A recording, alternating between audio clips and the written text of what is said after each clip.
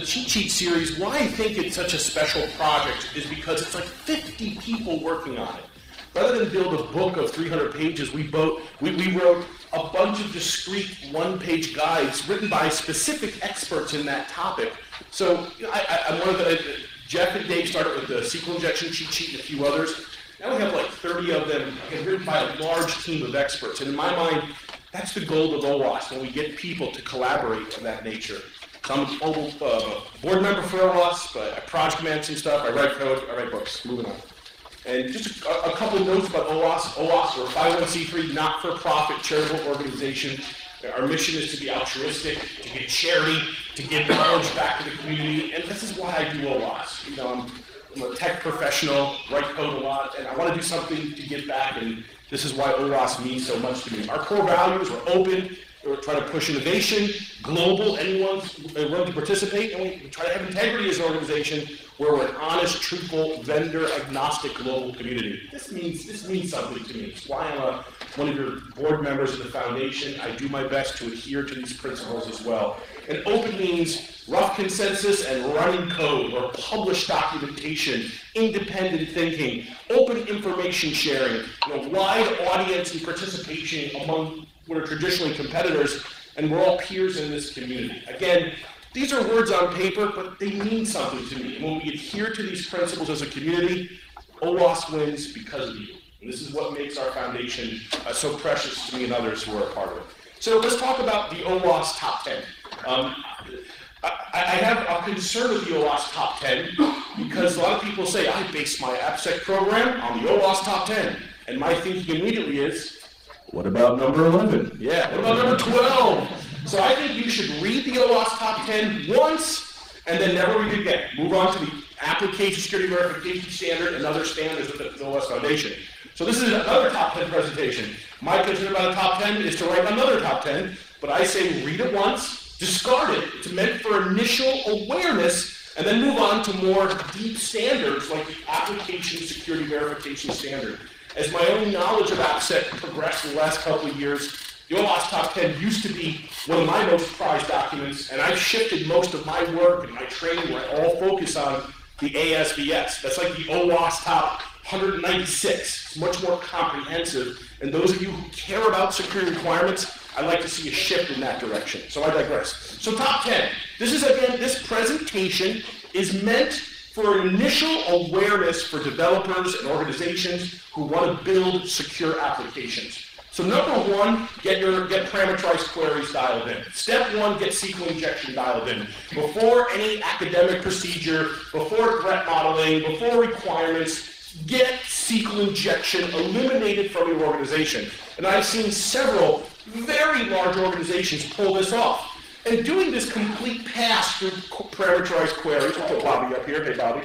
You know, doing our first pass through uh, fixing SQL injection gives us a chance to touch every code base. It gives us a chance to remediate by far the biggest vulnerability, risk, whatever you want to call it, that we have in AppSec today. You might not have databases around. This might not apply to you, and that's okay. This is a general document. Um, and so I, I like to see people pass through all of their work, all of their applications, get SQL injection fully dialed in. It's a great first step as you approach application security maturity, and it's a single focus throughout the organization as well.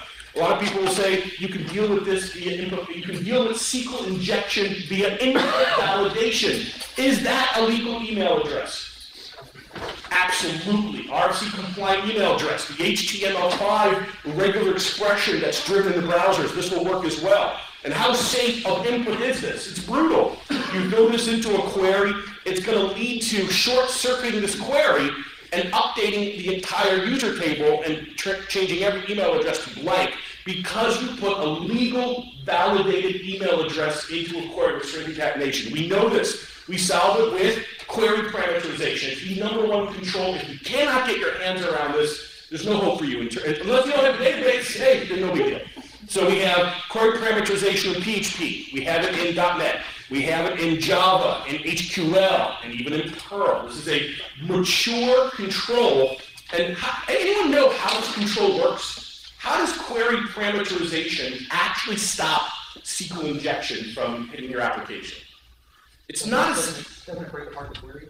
Pardon me? I just break apart instead of doing the whole thing. What's that? On the front.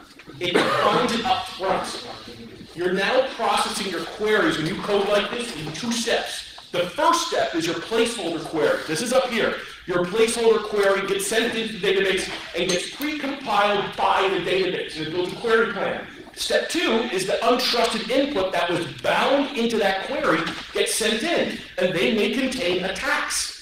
But because the query plan is built, the queries pre-compiled, those attacks will not initiate. Those attacks won't actually work because, again, the, the, the plan of how that query will be processed is built and compiled already. This has been working for over a decade, over 15 years actually, and we, if we need to code like this. There are a few rare cases where you can't parameterize a variable, like when it's a table name or column names, they shouldn't be untrusted though. Or when you have like a order by clause, uh, sometimes a limit by clause, you can cast that to an integer. Those come up rarely. There are a few cases where you can't parameterize, but it doesn't matter. If you're beginning a program, and it's 2014, well, how many of you are still are beginning AppSec programs in 2014? I state with respect. Anyone? No one in the room, everyone, who here has been in AppSec for about a year now with the organization? How about three years? How about five years? So who has who is not doing AppSec yet? All right. Cheers. So this is something we've known for a while, and it still pops up, and we got to get it fixed. Let's move on. The second control I like to focus on is encoding and escaping. We want to encode data before use in a parser. This is going to cover things like cross-site scripting and LDAP injection and the whole family of injection vulnerabilities besides SQL injection. We don't solve SQL injection by escaping. We have better techniques to solve that. But when we move into the world of building a user interface, we have no choice, for the most part, to do escaping for traditional web applications. Here's an example of some SQL, some cross-site scripting attacks that are stealing data or trying to steal a cookie and infiltrate them. The amount of damage we can do with cross-site scripting is off the chart. We have to take this seriously. This comes up so often, I see managers getting numb to this. Another cross-site scripting, let's not worry about it. But XSS is more than just XSS because any cross-site scripting vulnerability can be used to undermine any cross-site request forgery defense. So when you allow JavaScript to inject your site, not only is it allowing the attacker to modify the page, it's also allowing the attacker to store CSRF attacks in your site. We saw that, we saw several worms across social media that did just that. So when, when a browser sees this character, it thinks of it as code, not display data. So if one of your users can put this character you know, into their input that gets rendered to other users, this is going to cause, this is going to be treated like code, and we'll use escaping functions to convert it to a display-only format. There's a variety of different libraries you can choose to do this. I'm a Java guy primarily, so I use the OWASP Java Encoder project. I use it instead of ESAPI because it's a single drop-in jar, it's built for performance, and we maintain just that library by itself. We have a lot better luck keeping it up to date and bug-free than a, a, more monolithic library, monolithic, let's more giant library like ESAPI, which is which has struggled in terms of keeping it up to date. So I, I, stand by this. It's very fast and highly performant and low RAM usage. It's meant for cloud providers like a Google or SAP who's handling a traffic that's kind of hard to even imagine sometimes. But the other benefit of this library is broken down. It's got the most granularity for any encoding library I've seen. Now we can take shortcuts and use just the parent and skip the children for these contexts. Because let me take a step back. When you're building a user interface, one of the concepts I like to use academically is called perfect injection resistance. Where when I build a user interface, it's a mix of variables and markup and JavaScript and other things. I am not going to assume anything about how those variables are populated upstream, and I'm going to protect every variable in the UI itself. So I'm protecting against JavaScript injection at the closest boundary as a software developer between the variables and where the parsers begin. So that's in my UI code when it comes to JavaScript injection. Encode everything, sanitize where necessary, and we can use, we can take shortcuts with this library and just use the underlying parent for each context or we can use build our own template engine that does this automatically. So this is one of my, my one of my favorite libraries for XSS defense. It's written by Jeff Ichnowski, a PhD compiler theory student who went through the open source rendering engines to make these choices, not taking guesses, but doing the science to make sure those choices were correct. I'd love to see this port to other languages. Now, there are encoding and escaping libraries for the languages. Ruby on Rails has a really decent encoder in the Retool library. The Reform project has a little old school, but it has some good encoding for like Perl and JavaScript other legacy. ESAPI still has a decent encoder. I actually ripped out the PHP uh, PHP, there's a comma missing there, we'll, we'll, we'll survive that. Um, ESAPI has a good PHP encoder. There's not many encoding libraries in PHP that are reasonable today. Um, and we have uh, anti-XSS NuGet that came out recently that has a really robust output encoding functionality. Other things we see, we have LDAP encoding to stop LDAP injection in ESAPI and the .NET anti-XSS library. We have command injection encoding functions in ESAPI. Be careful here. You should never let user data drive an OS command. We have XML encoding functions in the, in the Java encoder, and we have some uh, comparison study here from border security I found recently. So encoding and escaping is the primary defense to convert dangerous data to safe data without actually changing that data so much. Just changing characters to an escaped context. So this is our main defensive layer against injection. Next, input validation. This is a debatable topic in my mind because I can build a really strong, secure application and skip all validation. The more important defense is not when you first get that input, it's when you use it in your system. So, for example, if you have an article for a news article and you're adding comments, what characters can I allow in those, in those comments as a developer? Letters, uppercase, lowercase, spaces, and punctuation? Guess what? That's all I need to cause harm as an attacker. How about, maybe even worse, you want to support internationalization? Anybody here do, does anyone here in the room do really strict language-specific input validation for the sake of security and internationalization? The answer is probably no. A lot of us punt and use a printable character regular expression to handle internationalization. So input validation tends to get weaker over time. It's not a layer that I think you should depend upon. Then there's some special cases pop up. When you have HTML input into your web application from something like TinyMCE, when you, that's a WYSIWYG editor in the browser as a text area, and when you uh, submit this text area, it submits as a chunk of HTML. It's meant for rich markup. We see this in admin consoles a lot. So how do you how do you fix that problem? You want to use the one of the tools I go to is the OWASP HTML sanitizer project. It's another Java project. It's written by Mike Samuel from Google's uh, from Michael Google's uh, Mike Samuel from Google's AppSec engineering team. Look at the trend here of libraries I want to endorse. These are not ones written by the security community. They're really written by the developer community with help from the security community. I think controls that I've seen built by security professionals tend to be much weaker with respect than those built by real developers. So I want the, the, the, developing community to really embrace this, but they need help from us, the security community, to do it correctly. And here's some examples of how to build policies in this. The top policy is allowing different types of images. The bottom policy is allowing different kind of tags. Uh, unlike AntiSamy, it's allowing programmatic configuration of what you're going to allow through when you're accepting untrusted HTML. And I actually use this defense not just on input, but I use it in the user interface itself. Remember, I don't want to assume how variables are populated in user interface. I want to protect all of them, so when things change upstream, my UI is still locked down. So encode and validate in the UI for all input. It tends to be a, a good, future-proofing way to write code. And there's HTML sanitizers in every language, just about. We got Mike Samuel, again, in the JavaScript world from his Caja project. Python's got Bleach, PHP, I would recommend htmLawed.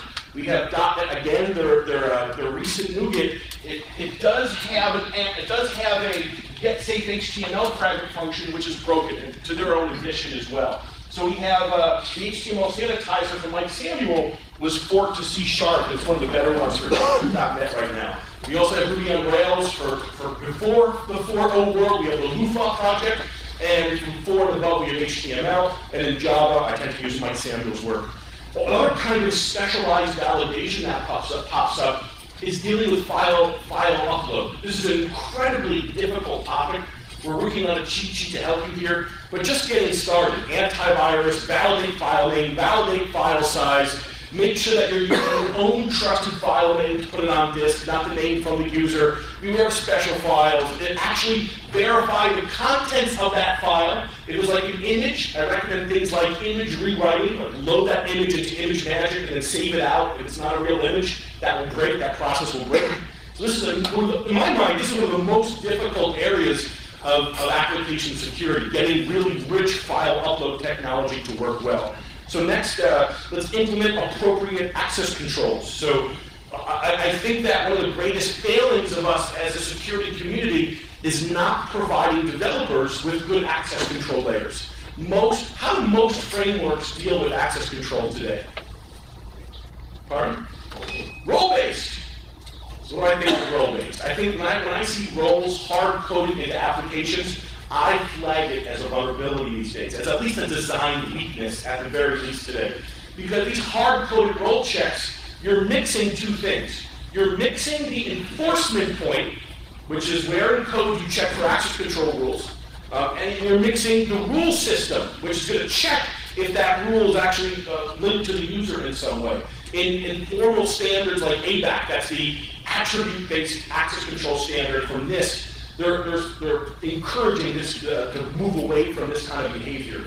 So of all the things we can talk about in access control, the main thing I like to talk about again is the enforcement point. Because if we get the enforcement point correct, everything else that we really need for good access control tends to fall into place. We're almost forced to make that fall into place. This is traditional access control. We tend to see this code written throughout thousands and sometimes tens of thousands of lines of code scattered all throughout your application. Let's have a moment of uh, security confessions here. This is a chance for healing and redemption. How many of you are writing or working on an application that has these kind of checks scattered all throughout the code, throughout the code base? Only one or two, three, there we go, a few more. Who, else? Come on, redemption, healing, yeah, thank you. And how's that working for you? How's that working out for you? It's legacy. It's legacy. Love that word, legacy. See, the problem with this is it becomes difficult to maintain over time. It becomes difficult to prove the security aspects of your software, whether it's through manual or static type analysis or dynamic analysis for that matter. And when you want to change the code, when you want to change the, the permission set, you want to change the code. And even worse, Anybody you support multi-tenancy in your application? Does anyone here have to support different customers who demand different access control rules? And how's that working for you in that world? I've seen, actually saw code recently where every access control check was like three pages of code. If the customer is one, check these roles. If the customer is two, check these roles. If the you get, you get where I'm going with this?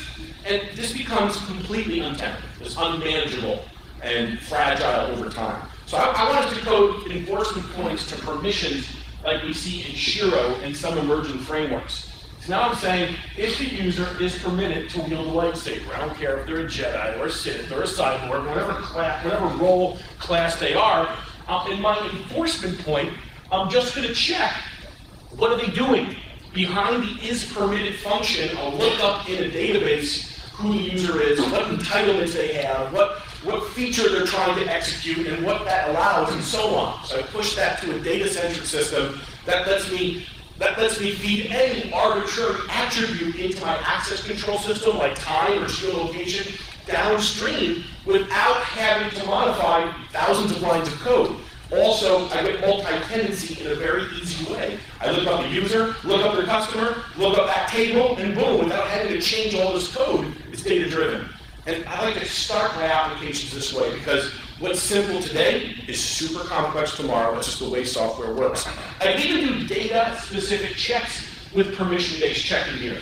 We have a request get int Winnebago ID from the movie Spaceballs, that's right. I'm trying to drive Winnebago of a certain number, and even with that data-specific check, even with that data-specific check, it's, uh, it's very easy for me to genericize this and have one enforcement point while supporting a large customer base of, of different, different rules and controls needed here. Next, establish authentication and identity controls. This is a huge, giant topic. I like to talk about password storage while I have this little bit of time. It's something that a lot of us get wrong to this day. I very rarely see this done correctly in code, and it's, a lot of misinformation from our communities. And something to, just, just something out there. So these days, we want to avoid hashing for password storage. We want to avoid symmetric encryption for password storage. We want to avoid asymmetric encryption for password storage. The only thing we should be using is KDF, standby. So number one, do not limit the length or type of characters from a user password. You ever go to a bank and have the bank tell you, please only use eight character passwords and don't use any special characters? You ever see the error message in the bank? Here's what the error message really should say. It should say, Look, we have a lot of, a lot of uh, bonuses to give to our banking executives. We really can't afford to upgrade our systems. We can support, uh, support large passwords. We may do it in a year or two after the, get the bonuses out. Say, something like that is what it really should say. And there's no excuse for this. It's really bad security. So we had an era about three years ago where like top five tier banks had no multi-factor in the U.S. and only allowed eight-digit passwords. This is insane. And so we're getting beyond this level. So be careful. It can't be too big Django, September 2013, they were using PBKDF2, and this standard that's good for password storage. It's slow. And uh, they were actually denied a serviceable very easily because they allowed unlimited size passwords. So they limited down to four, about 4,000 bytes, which fixed the problem. So not too big, but at least have some kind of limits. So number two, use cryptographically strong, credential-specific salt. What's the purpose of a salt in cryptography? It's the same thing as an ID. When you and I have the same password machine, what's the ciphertext going to look like if the, if the protection algorithm is the same? If our password's the same, our ciphertext will look the same. That makes attacking a large database of, of passwords very easy, uh, or at least easier. So what we want to do is when you create your account, your password, try to reveal it to everyone, you'll get to change it quickly. Fluffy bunny one, am I right? Like mine, so we have the same password. Who's heard me tell that joke like 10 times? Sorry, like, yeah, so we have the same password, our ciphertext will look the same when we store it. So we add a different random salt to each of our passwords. When you register, you get a random salt. When I register, I get a random salt. We attach that to the password and then store it, and that deduplicates our ciphertext, even when the plain text is the same. In the world of AES, they call this an initialization vector. It accomplishes the same goal. Number three, this is what you should be using. You should be using PBKDF2 as the weakest good choice, bcrypt as the next acceptable choice, and scrypt when you want to uh, do hardware accelerated attack resistance as well. This is a difficult topic, and, uh, uh, and the, the goal of picking these algorithms, what gives you the security is the work factor, is what slows it down. For about five grand, we can buy hardware that does about 150 billion hashes per second. And by using one of these algorithms with a, with a decent work factor, we'll slow it down to limit how many attempts per second the attacker can do offline. And so, uh, again, I think bcrypt is probably the best call for PHP. For Java, PBKDF2 is native to the language. For .NET is a really good bcrypt official library. So I would use bcrypt when I can. PBKDF2 when I need enterprise type support. Um, also, for very specialized situations only, ultra high performance, isolation of the crypto, you can use an HMAC in certain specialized situations when you have a huge number of users logging in concurrently. And by the way, let's have a moment of security confessions, a chance for healing and redemption. Right?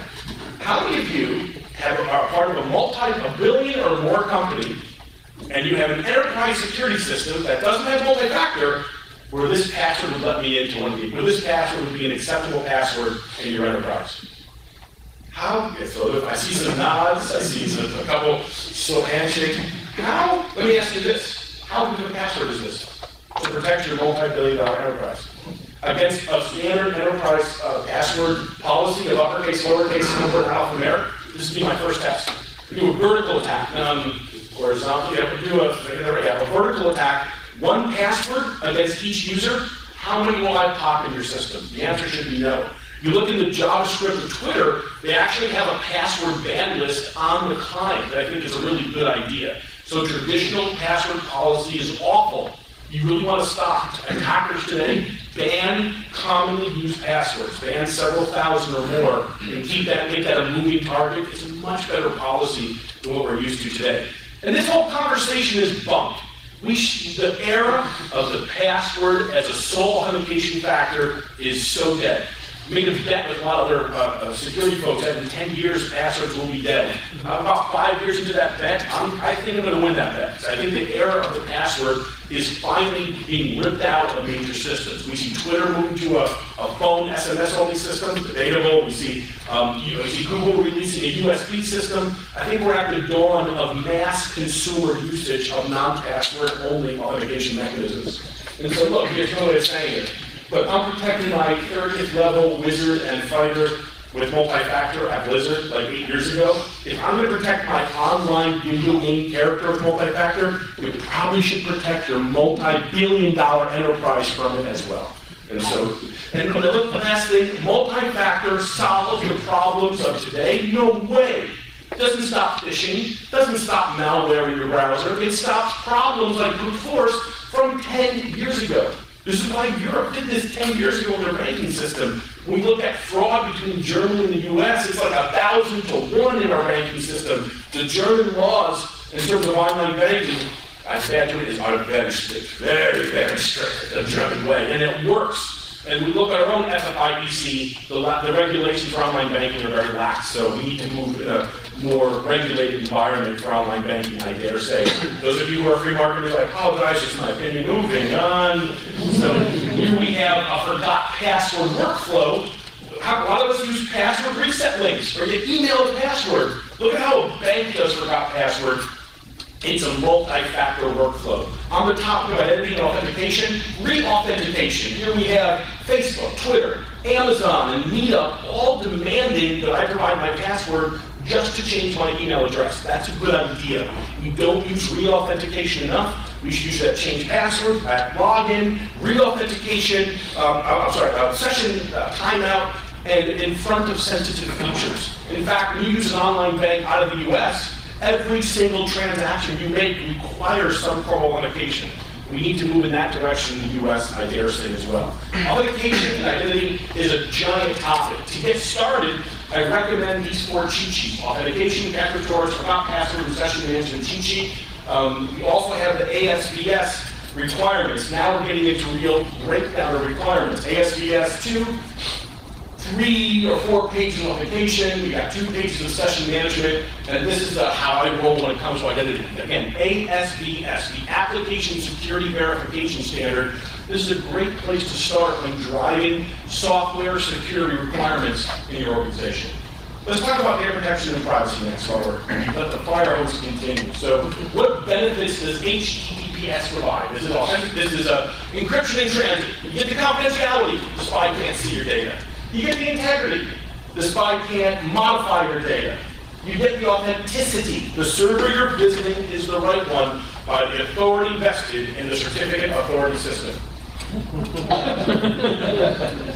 Which is a complete joke. Yeah, the whole CA system is bunk. I'm sorry. It's not going away anytime soon. But let's talk about it. Let's talk about what you as a developer, what you as an application administrator can do to make SSL dialed in today. Because you can. The pieces are in place now. Let's look at them. We have certificate pinning, strict transport security, new ephemeral forward secrecy ciphers, and uh, other initiatives. Let's look at them. Strict transport security, go back to 2009 with me for a moment, where we have Moxie Marlinspike on, on releasing SSL Strip or Black Hat, which basically lets you strip out the HTTPS portion of any connection um, and still show it as HTTPS to the user while still dropping it down to HTTP. This, this blew away the SSL community, yet another stake in what we thought was a coffin. But this came out to counter is from Andy Steingruebl at PayPal at the time, strict transport security. If you make an initial connection to my server over SSL, then I can, I can respond to that with this simple header, strict transport security, max, max age is a certain number of seconds, include subdomains. Hat tip to Hansen, gotta use include subdomains for privacy. This will force the browser to make only SSL connections, HTTPS connections from that point on. You want to really talk security? You want to, wait, let me go back. You want to talk about real hardcore transport security now? Say, say yes. Yeah. You can actually go into the Chromium project and hard code your application, your domain, into Chromium, which is picked up by Chrome and Firefox and Aviator and other browsers, And now you can actually have the first hit to that server be, be forced to be SSL. Now, normally, you make a request to my server, server over HTTP, I'll respond and tell you to redirect, then you'll redirect to SSL. It's too late. If I'm on the network, the initial connection is HTTP, I got you, it's game over. So that redirect isn't the best way to roll. This will allow even the initial request leaving the browser, Chrome and Firefox today, to flip it to SSL if an HTTP request is made. So now that first hit to HTTP goes away. Only about, besides Google and Twitter, only about a thousand domains are on the preload list. If you're really trying to get deep SSL security, this is the way I would roll. Hard code your domain in the browser.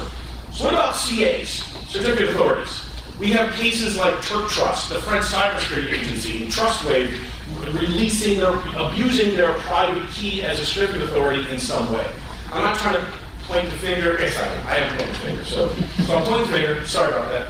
But we, we, we and to TrustWave's credit, they're like, look, it's not just us who did this, and we'll stop doing it. Every one of our peers in the CA is abusing their private cert in some way. If you give me a private cert to a CA, I'll create a fake certificate for your domain, sign it with my CA certificate, and hand it off to you. And it's a fraudulent but properly signed certificate, which is a big problem. So we have pinning.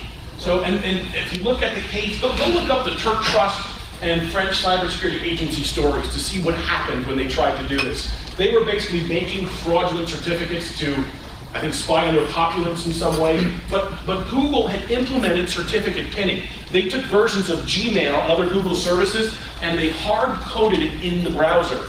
So when people uh, were going to Gmail in Turkey, and they were uh, and they were being given fraudulent Gmail certificates that were properly signed by TurkTrust, Google Chrome alerted them that they were that their privacy had gone away and that they were being eavesdropped on.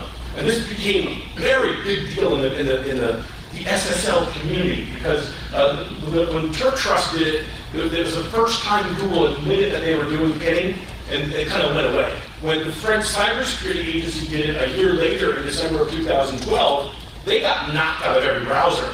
Chrome got rid of them right away. Microsoft, Opera, and Firefox, and Mozilla, they followed suit and tossed the entire French government out of the browser as a CA. So this, this is a big deal back in 2012, 2013.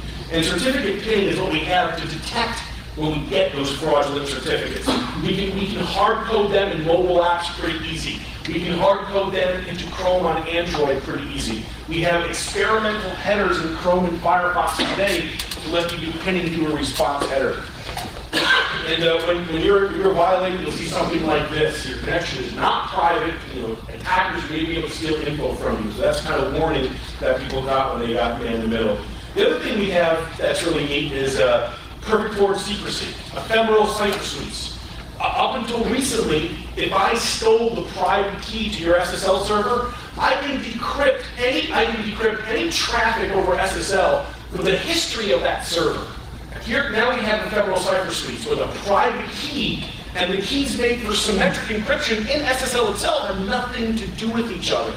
So if I crack your key and reveal some plain text on SSL, I get a little bit of data, and I have to start over for every chunk of data I'm trying to decrypt. It really makes uh, you know, advanced adversaries who are using massive hardware to crack SSL, it, it, it, shut off their capabilities in, in significant ways. And and after Snowden, I'm not trying to be political, but after Snowden, all, all the different servers and browsers rushed to support this, and they're now, in, in just six months, these ephemeral cipher suites, a very big deal when it comes to privacy and good SSL connection, these are now widely supported. Those we see on the top. Um, yeah, so if you want to use ephemeral cipher suites, it's usually just modest configuration of your server and you're good to go. The browsers are all in place now, overall. There's going to be a talk here, I think we just had one last hour. There's a talk that showed that it's not that you're using or not using ephemeral cipher suites. There's like a maturity curve of how your organization is doing. So I would definitely get a recording of that talk if you haven't seen it already to, to help measure how well you're doing this. It's the only, we need this to do SSL correctly. And so how about cryptographic storage? We're usually told to use AES. We want to avoid ECB mode. We want to probably use GCM mode, which isn't widely supported, getting better. So we're probably stuck in CBC for wide enterprise support. And we want to have a unique IV per message for deduplication. We want to get our padding correct. We want to do our key storage management and such correct. And that only gives us confidentiality. So if you're using CBC, you have to HMAC your ciphertext for integrity and derive your keys from the same master key with proper labeling. Don't forget already been master key. And good, we're bleeding luck That's the people in the world get this stuff wrong. So don't write crypto. Don't ever talk to a key in your application code. You should be using a separate service with something like Keyczar. In my mind, Google Keyczar is the only good applied cryptographic library. All the mess of padding and what, what choices to make, and how to do key, key rotation and key families, all the good parts of a real rigorous crypto system is handled for you within this library. It's reasonably well maintained, and it's supported by Java, Python, and C++ in an interchangeable way. And again, never do this in my application. It's always about isolation. That's kind of the real hallmark of key management is to isolate, isolate that from the rest of your application. Push it to a separate service reduces the problem to just authentication and access control from that point on. You also have intrude. How am I doing on time? How am I on time? We have 10 to 10 minutes? Let's keep going. We'll break for a second. We'll break. What's that? Any questions so far? All right, let's, let's, let's, let's go into intrusion detection now. Error handling, logging, and intrusion detection. I'm going to skip the error handling and logging, logging part. That is important. But let's talk about intrusion detection for a moment. When you have a web application, complicated web service, some kind of custom enterprise software or whatnot, the uh, you know, the idea of putting a product in front of your app to give you good intrusion detection, I think, is a failure. I don't think that's the way to roll. We really need to embed this protection in the application itself as much as possible. So things like if I see someone trying to modify an immutable field, like a checkbox. When you have a checkbox in your form, it's either checked or unchecked. I either get the value or an empty string. And if I get anything else, Someone's using an intercepting proxy to mess with my software. I can block that account right away. So uh, this is an example of intrusion detection prevention that you would embed in your software itself. We also have, we look at things like latent SQL injection, abuse of a multi-step workflow, um, things like uh, custom business logic, like I might put the price as a hidden variable in a shopping cart. Who here is a pro pen tester? Who here does pen testing for a living? All right, let me ask you a question. You go to a shopping cart, right? You see an item pop up, you go view source, and you see item ID, quantity, and price, and a submit button. You can't help yourself. What are you going to do? Say it. Negative one. You're gonna you're gonna mess with the price right away. And so what I like to do is I put the price as a hidden variable into the shopping cart, but I never use it. I actually get the ID, look up the price, and make sure that what's your name? Mission. I make sure that him does not, does not modify the price. It's just it's just a honey trap, a honey token. To and it's something that any hacker can't help themselves. Oh, a price. I gotta reduce it, right? a lot of the research I've seen on intrusion detection, my heroes are Nick Galbreath and Zane Lackey. Zane is actually here at the conference if you want to talk to him. I like the work that they're doing in this area. It's some of the most mature. I'm also a big fan of John Melton and Coates and, and the uh, OWASP Sensor team, who have a pretty rigorous Java project to allow you to add sensor points deep in code for the sake of intrusion detection. Again, deep in code, much better than a product which doesn't have a deep understanding of how your software works. We also, I'm not going to go deep into this, but there are so many good controls built into frameworks these days. Ruby on Rails, Spring, Struts, they're not perfect, but they're there. Like, for example, if I use the default struts UI components or the default Ruby struts UI components, they tend to escape properly by default. So, eh, a, a good place, one of your initial steps is truly to have mastery of your framework and understand the built-in security characteristics and to use them properly when you can. It's also just as important to know when not to use them. If you have like really rigorous access control requirements, like we talked about earlier, then using your framework's built-in access control is usually a really bad idea. So it's not just important to know when to use your security characteristics in the framework, it's just as important to know when not to. So last, coming to the end here, let's talk about security requirements. How many of you here are developers in the room, Developers, developers, developers, good. How many of you have been given clear requirements for your job in the last year? You're kidding me.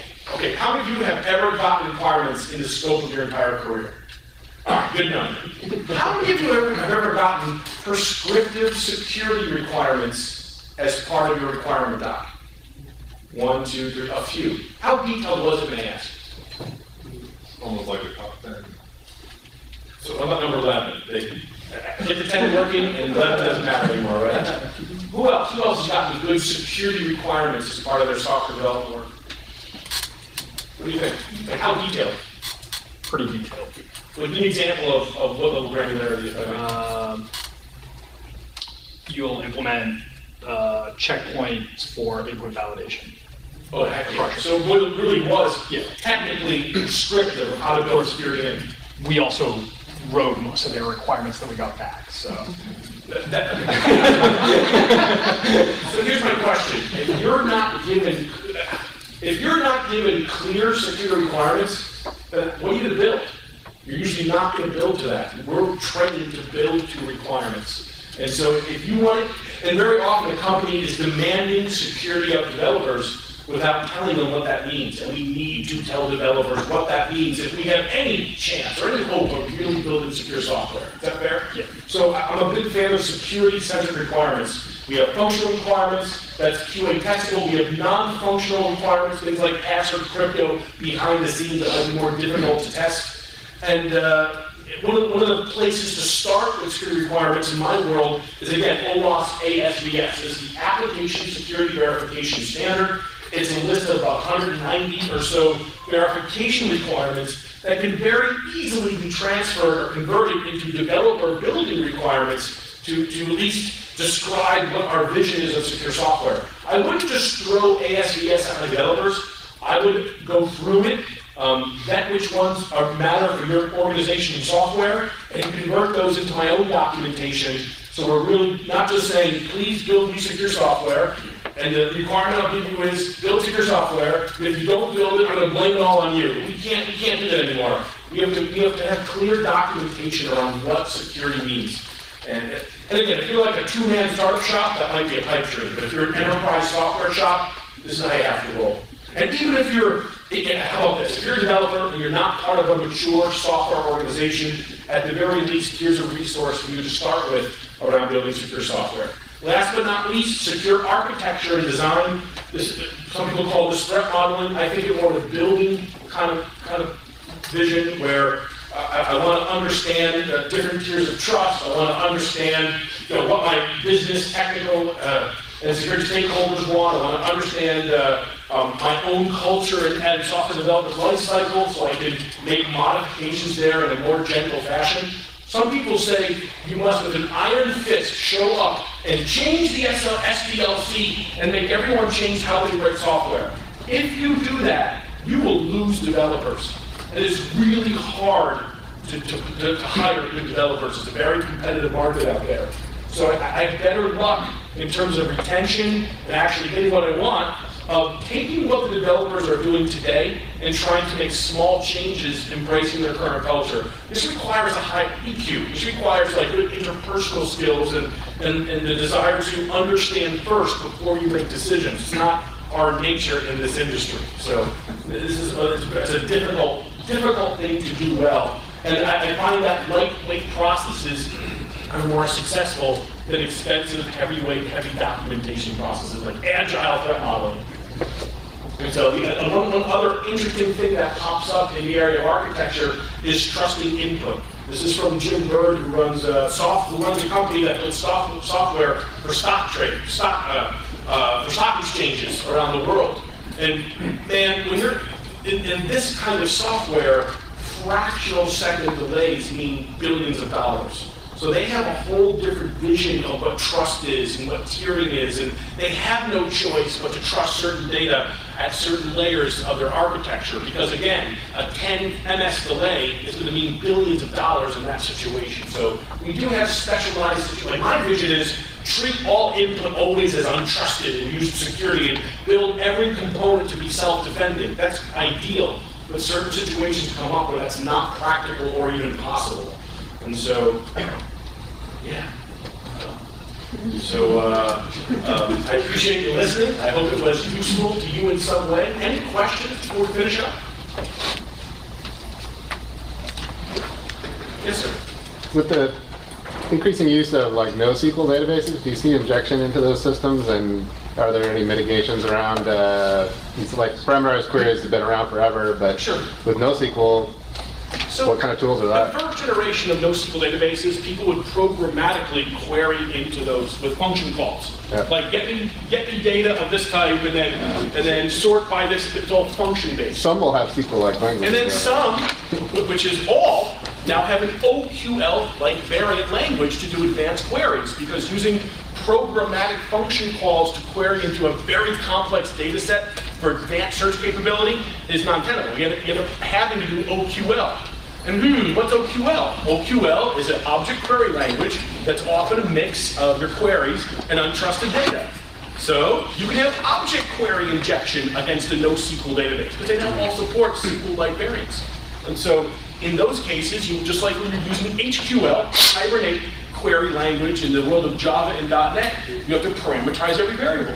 So it does pop up, even in the NoSQL world, on occasion, and more and more frequently as we see these databases being used in advanced reporting kind of infrastructures. That's my, you have, it's less of a problem, but still there.